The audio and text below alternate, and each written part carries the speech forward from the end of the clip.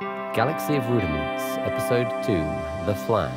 The word flam is an example of onomatopoeia, a soft f sound followed by an accent, lam.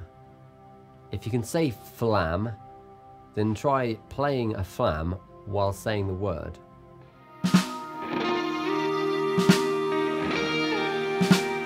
If you'd like a more detailed explanation of how to play a flam, then keep one stick near the drum and lift the other into the air.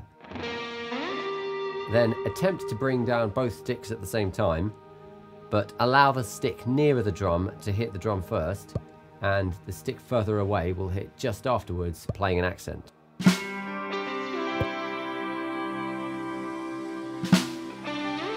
The rhythmical position should place the accent on the beat and the grace note just in front of the beat. One, two, three.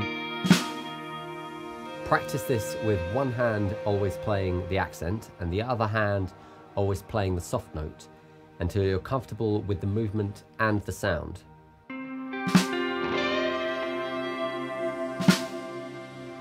Then proceed to playing it with the hands reversed.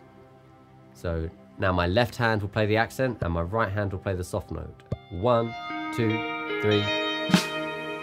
A good simple exercise to practice flams is to play four quarter notes followed by four flams. The hand that's playing the quarter notes should also play the accents and should remain dynamically and rhythmically steady throughout.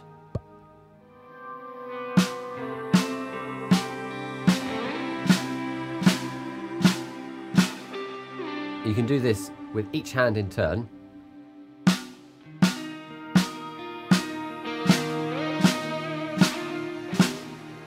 Then when you're confident with each hand, you can play eight notes with each hand leading.